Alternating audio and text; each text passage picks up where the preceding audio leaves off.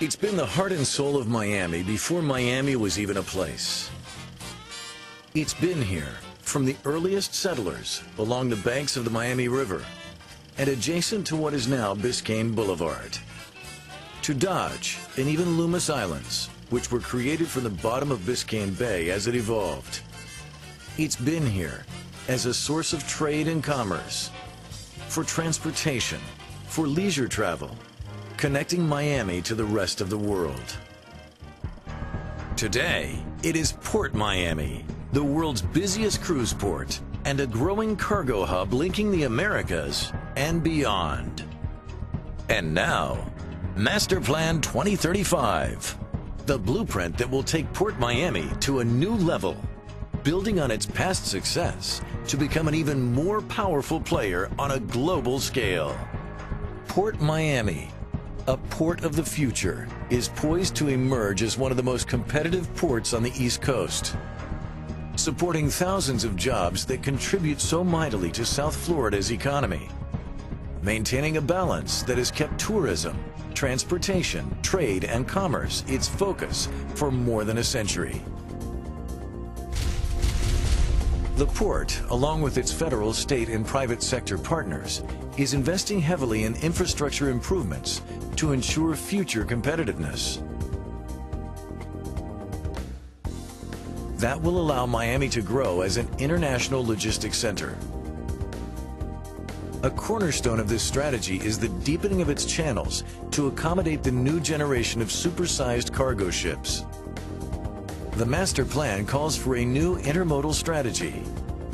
In partnership with Florida East Coast Railway, on-port rail freight is being restored with links to the national railway system. Cargo will now flow to the rest of the nation with ease and efficiency.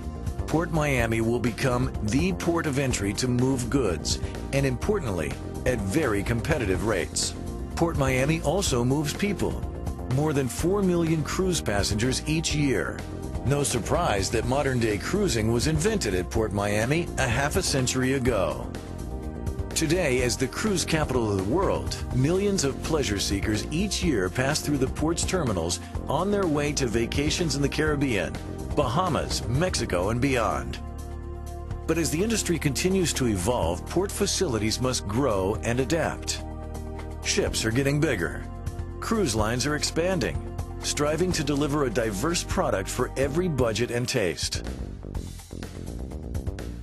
To remain an industry leader, the port must have modern and technologically advanced facilities.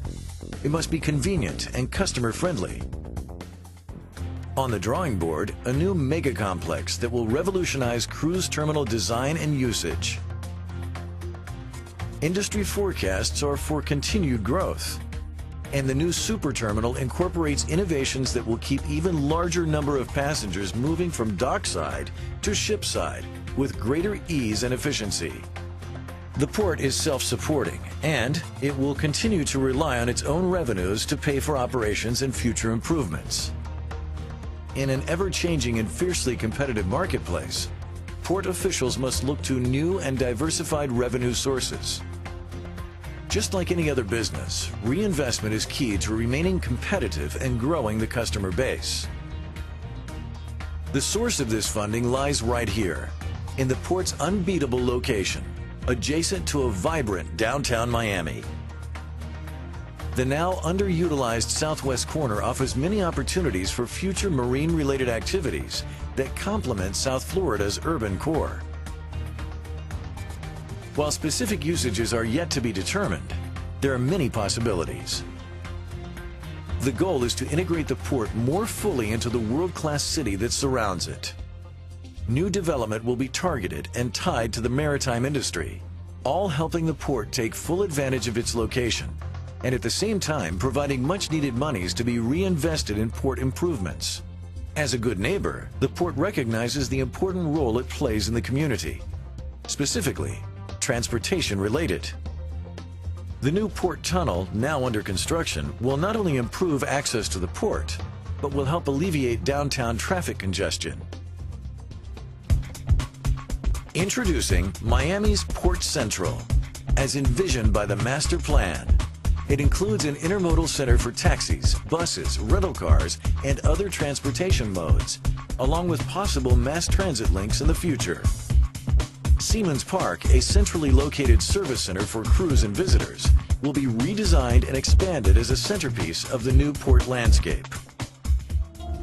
Key to the master planning process, recognition of the port's role as responsible steward of Biscayne Bay and all the surrounding environment.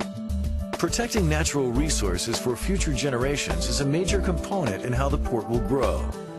The master plan calls for keeping future development within the port's current footprint, doing more in the same space. To reach true sustainability, safeguards will be put into place. Monitoring and reducing the impact on air and water quality, marine life, and energy resources are key. Port Miami is indeed a port of the future expanding to maximize its current assets, and strengthening its position for future growth, but always environmentally sensitive. Master Plan 2035 is an ambitious plan, an investment for a financially stable port, one that will remain a powerful economic engine and continue creating new, well-paying jobs and wealth in the community. Welcome to Port Miami. Welcome to the port of the future.